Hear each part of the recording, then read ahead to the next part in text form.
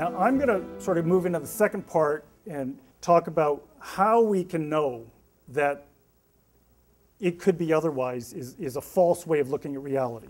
And this is where we use memory. And T.S. Eliot said, This is the use of memory for liberation, not less of love, but expanding of love beyond desire, and so liberation from the future as well as the past.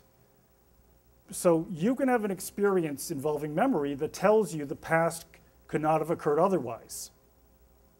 Now, and that means that the future is already predetermined. The, the actual, the actualism is confirmed. So let's just do this experiment again. We're gonna, we're gonna toss this in, we're gonna get a two. So leave that there, and we, and we got a two, okay? I mentioned the confirmation of actualism. I call this experience the gold mine of consciousness, and we remember that the past could not have been otherwise. The actual is the only possibility. Now, this is beyond science, measurement, and logic, but it's not illogical. Um, in fact, it's very logical. Now, it's unexpected, maybe, and maybe it's unpleasant if you want to have free will, but what this actualism tells you is we're here by design, not by chance, randomness, or, or accident. And, that, and instead of probability everywhere, it's probability nowhere. Predeterminism, you're not in control. Now, the thing about the past and the future, we, we did this experiment too, and could that have come up? Otherwise, I'm saying no. Um, the, it could not have been otherwise applies to the future also. So whatever happens is already predetermined. Now, we tend to think, as did Richard Dawkins, the potential or the possible is much bigger than the actual. We saw Dawkins said, the potential people who could have been here in my place so massively exceeds the set of actual people because of the DNA combinations. So this is how most of us think. Hey, you know, I, I, I could have slept in. I could have been a contender. Could have gone to a different college. You know, I could, I could order cheese pizza tonight. I could order pepperoni pizza. I could, I could even have spaghetti. So this is how we think. But there's no evidence, of course, that the possible or the potential is actually greater than, than the actual. The actual is based on what's really here and now. I had a cheese pizza last night. That's actual. I didn't have pepperoni. That's potential. There's no evidence I could have had pepperoni. So what memory tells us is the potential and the possible equals the actual. It shrinks that whole cloud of possibility to the actual. It merges them. So that gets us to free will. We all agree that you cannot affect the past. What's done is done. Remember, remember that? Your mother tells you, you don't cry over spilled milk. Okay? Humpty Dumpty sat on a wall. You know, he broke. Oh, now, now let's cry. Humpty Dumpty's not going to put himself back together. You cannot affect the past. Now, what actualism tells you is you cannot affect the future either. There's a symmetry there. So we go from Murphy's Law, which is whatever can go wrong will go wrong, the can, of course, being huge and the, the will being small. We go from that to whatever will go wrong can go wrong. Or the only thing that can happen is what will happen. So you look at the future and you say, okay, um, I'm gonna I'm gonna decide to go to a movie tonight, and I'm gonna I'm gonna think about going to eight different movies, and we're gonna sit there and we're gonna look at all these papers and come up with all the ads, and I'm gonna go to I'm gonna go to movie number three. And what I'm saying is, if you go to movie number three, then you could have not gone to any of those other movies. So don't cry over spilled milk applies to the future and the past. Now, the idea that I don't have any free will is something that most of us abhor.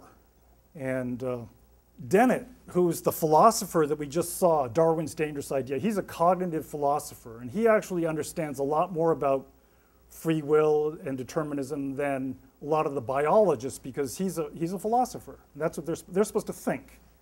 Okay, now he says, I am prepared to assume that actualism is false, and this assumption is independent of the determinism indeterminism question, even if I can't claim to prove it, if only because the alternative would be to give up and go play golf or something.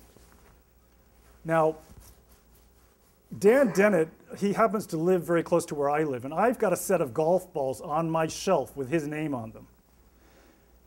Because I suggest that Dan Dennett go play a little golf. The second one, Max Born, a world without free will would be quite abhorrent. The third bullet, you may have seen the movie Serendipity with John Cusack and Kate Beckinsale. Uh, Molly Shannon, who's playing the character Eve, she says to Kate Beckinsale, if everything's determined, why should we get out of bed in the morning? Okay? Why bother studying if it's predetermined? Why bother doing anything? In fact, I have a lot of friends who think like that. And my response to them is if you don't get out of bed in the morning, you will starve to death. So let's go back to Dennett for a second. Dennett rejects actualism not because of any quote unquote proof, but because he doesn't like the implications. And that's fine. He doesn't have to like the implications. Very quickly, the idea of no free will solves a fundamental problem in quantum theory, which John Bell was a very important part of quantum theory. There's a thing called Bell's theorem. He was doing an interview where he said, you know, if, if the physicist doesn't have free will, if the experimenter is not free to make this intervention, then if that is also determined in advance, the difficulty disappears. So these quantum mysteries that are everywhere disappear in this world of superdeterminism. The physicist has no free will. Now, I read an article not too long ago looking at eight explanations for quantum theory, and, and Einstein thought about quantum. He said he thought about it 100 times more than he thought about relativity. So there were the eight explanations for why quantum theory and quantum mysteries and all that, but none of them talked about superdeterminism and John Bell, which is very simple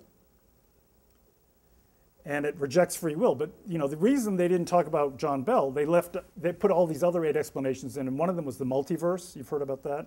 There's all kinds of parallel worlds out there. They didn't talk about John Bell because they don't like the idea that there's no free will.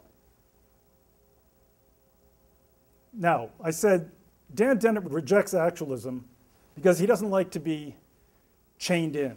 Uh, he wrote a book called Elbow Room, and it was called The Varieties of Free Will Worth Wanting. Now, you know what elbowing is in basketball?